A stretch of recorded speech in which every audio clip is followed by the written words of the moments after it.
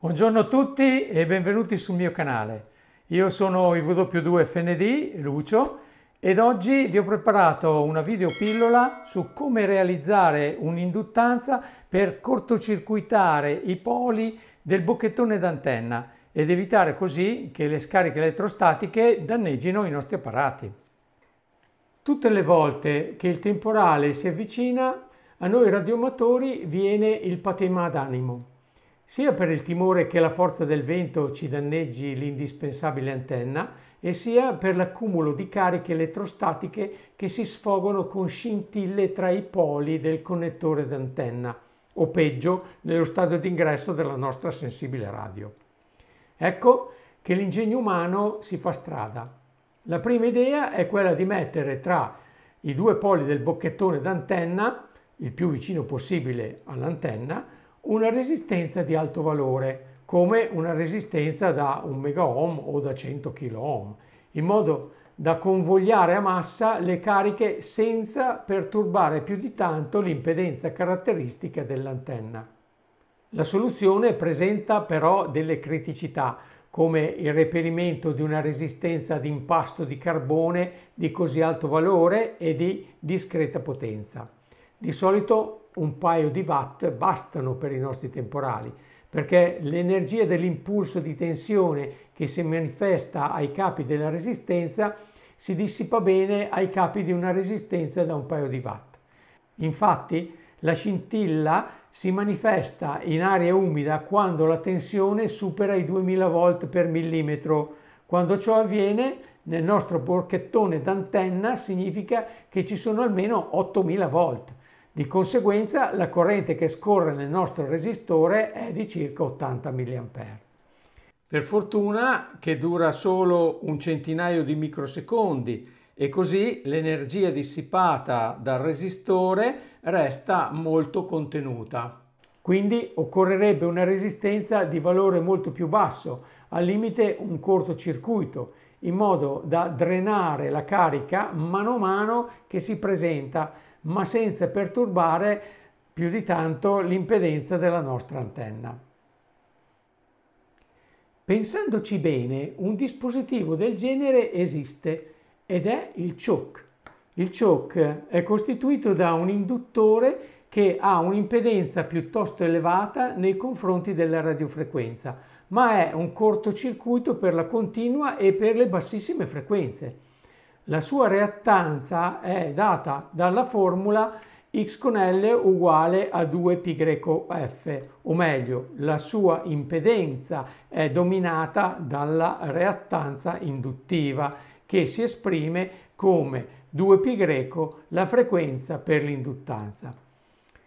Dalla formula si capisce che l'impedenza va aumentando linearmente all'aumentare della frequenza. Abbiamo scoperto l'uovo di Colombo. Ora la domanda è, ma quanto deve valere l'impedenza del choke perché non perturbi troppo l'impedenza della nostra antenna? Eh, rispondere a questa domanda è un po' più difficile. Bisogna mettere mano alle formule. Nel caso ideale avremo un'antenna perfettamente accordata con un'impedenza caratteristica al bocchettone di 50 ohm. Il suo SWR sarà quindi 1. Bene, di quanto vorremmo che il nostro SWR ideale sia perturbato quando gli mettiamo in parallelo il nostro choke? Perché un po' di perturbazione la dovremo accettare per godere del vantaggio che ci dà il choke, non credete? Si dà il caso che ogni qualvolta mettiamo un'impedenza X in parallelo ad un carico R avremo una variazione dell'SWR. Per cui se decidiamo prima il valore massimo accettabile dell'SWR potremo trovare il valore dell'induttanza X da mettere in parallelo alla nostra antenna. Il valore di X che troveremo è quello minimo perché in teoria con più l'induttanza è grande, con meno si farà sentire nel parallelo col nostro carico che è costituito dalla nostra antenna. La formula da utilizzare al netto di tutti i calcoli è la seguente, fidatevi. Un buon valore di SWR potrebbe essere 1,05.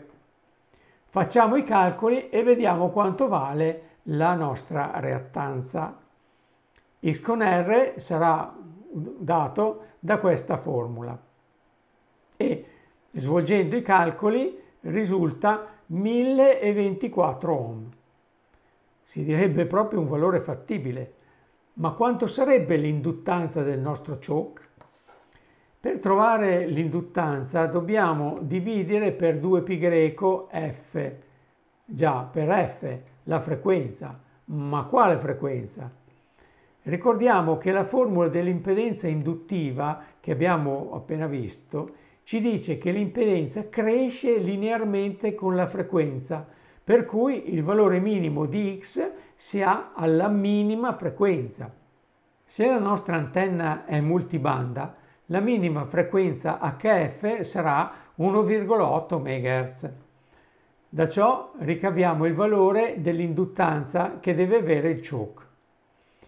Vedete, L è uguale a tutta questa formula e il cui risultato è 90,5 microhenry, che arrotonderemo a 100 microhenry. Il choke da 100 microhenry è decisamente fattibile. Come fare a realizzare un choke da 100 microhenry? Una delle prime cose da considerare è la corrente che transita nel nostro choke, perché questa influisce sulla scelta del diametro del filo. Per calcolare la corrente non possiamo applicare la legge di Ohm, perché la corrente elettrostatica, che è una continua, sarebbe grandissima. Infatti sarebbe limitata solo dalla resistenza del filo, che è di pochi milliohm, ma per un tempo brevissimo, un centinaio di millisecondi. La potenza dissipata su una resistenza quasi zero, quindi sarà anch'essa molto piccola, cioè quasi zero.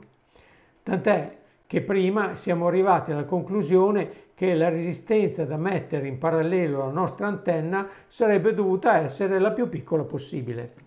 Ma nell'uso normale della nostra antenna, la corrente che attraversa il choke a causa della potenza che mandiamo all'antenna c'è e non è trascurabile, vero? Vediamo quanto potrebbe essere.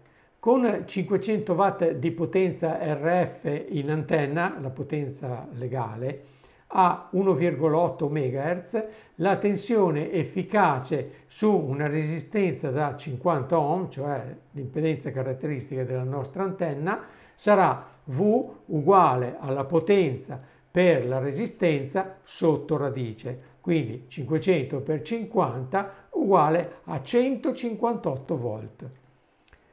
158 volt su un'impedenza Z da 1024 ohm sviluppano una corrente, in modulo ovviamente, pari alla tensione fratto l'impedenza, 158 volt fratto 1024 ohm, che fanno 0,15 per 150 mA. Se pensiamo che la nostra induttanza abbia un Q decente, diciamo 50, allora la sua parte dissipativa sarà R uguale a X fratto Q, cioè 1024 diviso 50, che fanno circa 20 ohm. La potenza dissipata sull'induttore quindi sarà la potenza uguale alla resistenza per la corrente al quadrato, uguale a 20,48 per 0,15 ampere, uguale a 0,46 watt, mezzo watt, molto ben gestibile da un filo di rame smaltato da per esempio 0,5 mm di diametro, giusto quello che io ho in casa. Deciso il diametro del filo, occorre calcolare il numero di spire. In prima battuta la costruiremo in aria. ci costerà un maggiore numero di spire, ma la semplicità ci dà molta forza. Per farlo sfruttiamo l'ottimo software di Rainiero, i 4 JHG, disponibile gratis su Aris Candiano, denominato radio utilitario. L'alternativa è usare una ferrite toroidale FT5043, ma preferiamo la vita comoda che Radio Utilitario ci offre gratuitamente HI. Una volta lanciato il software, scegliamo circuiti LCR, questi qui, e poi costruzione bobine per HF. Lasciamo la spunta qui trovare il numero delle spire ed inseriamo l'induttanza che è 100 microhenry, vedete. Accidenti, adesso ci chiede il diametro del supporto, ma a che diametro mettiamo? L'aiuto alla scelta eh, ci viene dalla formula delle induttanze che ci dice che l'induttanza aumenta col quadrato delle spire e fin qua non ci piove. Aumenta l'aumentare dell'area della singola spira, quindi del diametro del supporto della bobina e si riduce con la lunghezza dell'avvolgimento. Quindi dovremo cercare di fare un avvolgimento grosso e non troppo lungo. Per esempio uno di diametro da 32 mm e lungo 32 mm. Proviamo a mettere i dati e vediamo cosa succede. 32, 32, calcola. Perbacco mi dice che servono 67,3 spire ed il diametro del filo è 0,48 mm. Avevamo pensato ad un filo da 0,5, quindi ci siamo quasi. Andiamo per tentativi ed allunghiamo un po' la bobina finché non troviamo che il diametro del filo, questo qua, non è uguale a 0,5. Proviamo con 33 mm. Vediamo, calcola, 0,49 proviamo con 34, calcola, 0,49, andiamo 35, ecco, mettendo 35 mm come lunghezza dell'avvolgimento, otteniamo un filo da 0,5 mm e dovremo avvolgere 69, insomma praticamente 70 spire eh, sul, sul nostro rocchetto, sul nostro tubo. Come facciamo che non abbiamo l'avvolgitrice? I problemi non finiscono mai. Potremmo tagliare 6 metri 98 eh, centimetri di filo, anzi diciamo un po' di più, 7 metri e mezzo, ed avvolgerli a mano. Dopotutto una settantina di spire non sono poi così tante. Tagliamo quindi 65 mm di tubo da elettricista del 32 Pratichiamo un foro a circa 13-14 mm da un lato per fissare il primo capo del filo e procediamo all'avvolgimento. Ecco fatto. Ho avvolto 91 spire. Ho fatto un altro foro in corrispondenza della fine dell'avvolgimento per fissare il secondo capo. Spelliamo i reofori e misuriamo l'induttanza con l'LCR meter. 131 microhenry, non male direi. Radio utilitario ci prende abbastanza. Vediamo ora come si comporta in frequenza col mio VNWA. Sul VNA ho impostato la frequenza di start a 0,1 MHz, quella di stop a 30 MHz e ho visualizzato l'impedenza con la traccia S11 sia sul piano e sia sulla carta di Smith. Poi ho calibrato il VNA col kit SOL sulla porta 1 e spostato il piano di calibrazione sul piano di misura. Infine ho collegato l'induttore alla porta 1 e ho lanciato la scansione. Il grafico eh, che eh, vedete evidenzia una risonanza a 7,78 MHz. Poco male, ma dopo la risonanza l'impedenza calerà perché la capacità parassita che c'è tra spira e spira del nostro avvolgimento prende il sopravvento. Per fortuna che a 30 MHz troviamo ancora 1600 ohm, che è un'impedenza abbastanza buona. Ho fatto altre misure eh, su altre induttanze. Eh, questa che vedete è un choke della Epcos da 100 microhenry 1 ampere eh, comprato da RS Components con codice 213-1910. Anche questo ha una vistosa eh, risonanza a praticamente 11 MHz, ma conserva ancora eh, 2,7 kOhm a 30 MHz. Direi che anche questa soluzione è molto valida.